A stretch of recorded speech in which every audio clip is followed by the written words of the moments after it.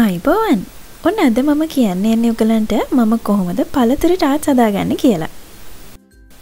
ඉතිං අපිට මෙන්න මේ ද්‍රව්‍ය ටික තමයි අවශ්‍ය වෙන්නේ මේ ප්‍රමාණවලින් මම ටාත්ස් දොළහක් හදා ගත්තා. මම අද පේස්ට්‍රි ක්‍රීම් එකත් හදනවා මීට අමතරව අපිට පළතුරු අවශ්‍ය වෙනවා.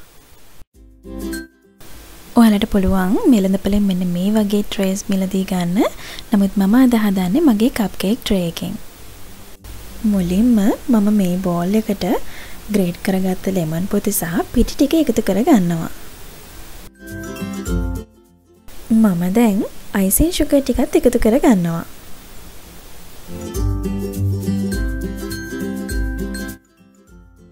දැන් ලුණු ස්වල්පයක් එකතු කරගන්න ඊට පස්සේ කාමරෝෂ්ණත්වයෙන් යුතු බටර් ටිකත් එකතු කරගන්න.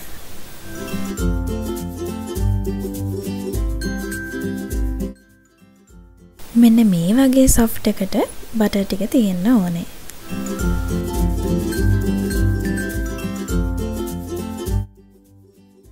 දැන් මේ ටික හොඳට අනාගන්න.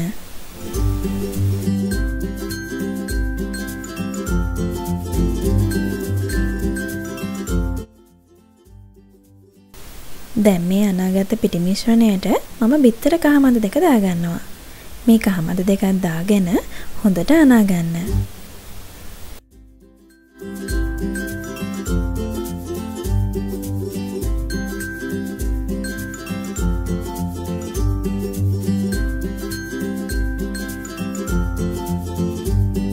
මෙන්න මේ විදිහට අතේ ඇලෙන්නේ නැති ගාන වෙනකම්ම හොඳට අනාගන්න ඕනේ. මෙන්න මේ විදිහට අතේ ඇලෙන්නේ නැති ගාන වෙනකම් හොඳට කලවම් කරගන්න. අතේ ඇලෙන ගතිය තියෙනවා නම් ඔයගලන්ට පුළුවන් මෙන්න මේ විදිහට පිටිචට්ටක් දාගෙන තව චුට්ටක් අනා ගන්න.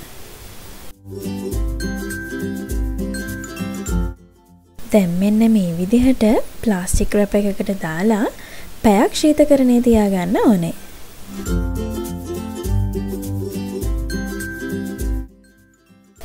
ඔන්න අපි දැන් පේස්ට්‍රි ක්‍රීම් එක හදමු.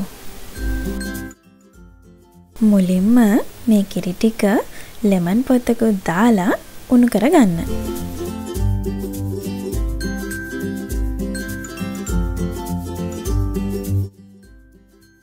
ලෙමන් ගෙඩිය හොඳට හෝදලා පොත්ත කපා ගන්න.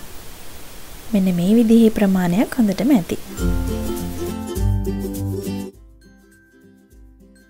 දැන් මම වෙනම පෑන් එකකට බිත්තර කහමද සීනි කෝන්ෆ්ලවර් සහ වැනිලා එකතු කර ගන්නවා. එකතු කරගෙන හොඳට කලවම් කර ගන්න.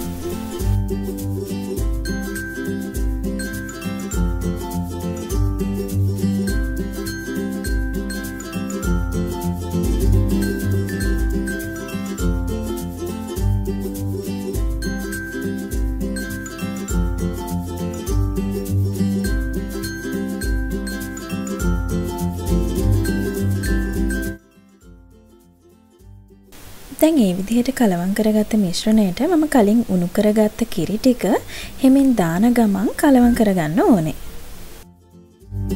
දැන් ඒ මිශ්‍රණය මම අඩු ගින්දරේ ලිපේ තියාගෙන ක්‍රීම් ගතිය එනකන් නොකඩවා කලවම් කරගන්නවා.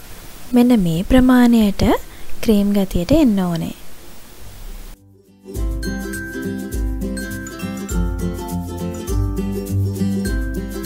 දැන් මම පැයක් ෆ්‍රිජ් එකේ තියාගත්ත මිශ්‍රණය අරගෙන බේකින් පේපර් එකක් ඇතුළට දාලා මෙන්න මේ වගේ ඊට පස්සේ රෝලින් පින් එකෙන් දිගෑර ගන්නයි යන්නේ. මේ ක්‍රමය භාවිතා කරන එක ගොඩක්ම ලේසි. මෙන්න මේ විදිහට රෝඩින් පින් එක ආධාරයෙන් දිගෑර ගන්න. දැන් මම මෙන්න මේ විදිහට මම භාවිත කරන කටර් එකෙන් මේක කපා ගන්නවා.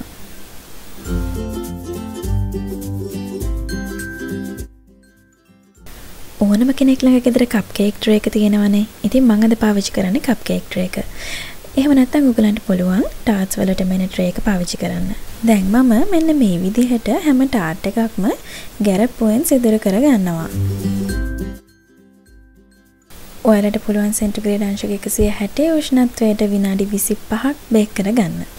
මේ තියෙන්නේ මම ඒ විදිහට බේක් කරගත්ත ටාර්ට්ස් ටික. මම පේස්ට්‍රි ක්‍රීම් එක පයිපින් බෑග් එකකට දාගත්තා. මෙන්න මේ විදිහට ඔයගලන්ට කැමති ප්‍රමාණයක් ටාර්ට් එකට දාගන්න. ඕගලන්ට කැමති වර්ගයේ පළතුරු එකතු කරගෙන ටාර්ට් එක මෙන්න මේ විදිහට ලස්සන්ට සරස ගන්න පුළුවන්.